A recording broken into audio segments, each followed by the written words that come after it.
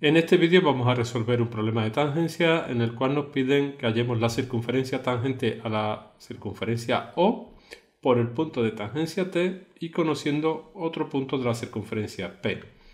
De entrada, el primer paso, siempre que tengamos circunferencia y punto de tangencia, es trazar una recta que una ambos puntos.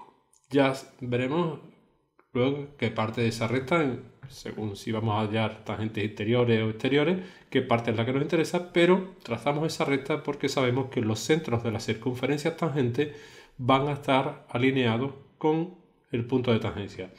En este caso, la circunferencia que queremos hallar va a ser exterior, puesto que tenemos un punto P de la, otra, de la circunferencia tangente que es exterior, con lo cual es presumible que el centro esté más o menos por aquí.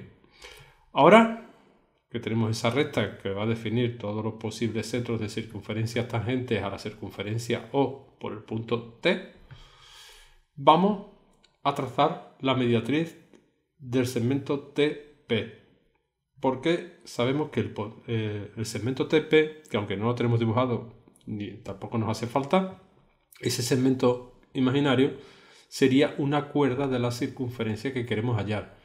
Y si trazamos la mediatriz de una cuerda de la circunferencia, esa, mediatriz va a pasar por el centro de la circunferencia. Es una propiedad básica de la circunferencia, así que aprovechamos y vamos a trazar la mediatriz. Ya sabéis, con una medida que veamos que es claramente superior a la mitad, trazo arco desde T y trazo arco desde P.